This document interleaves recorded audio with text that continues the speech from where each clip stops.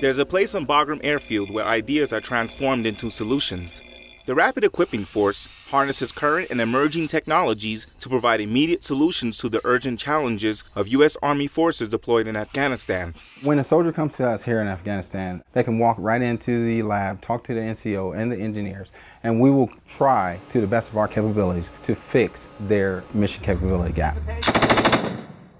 The REF designed the prototype for the 500 round ammunition pack system, or Ironman, which took a soldier's concept for an ammunition backpack. This creation removed the need for an additional soldier to carry ammunition for the primary gunner, which allows that soldier to focus on other tasks during extended dismounted missions. Another piece of equipment they created provided a solution for route clearance teams using metal detectors.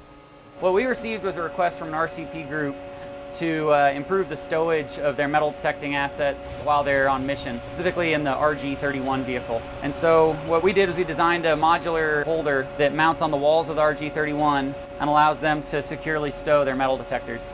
The idea is that it's going to improve ergonomics within the vehicle and allow them to make uh, egress if necessary by keeping the aisleway clear. Creating pieces that help equipment run efficiently allows security forces to remain committed to train, advise, and assist the Afghan security forces. The Rapid Equipping Force is the response and the answer for getting things in soldiers' hands and into theater.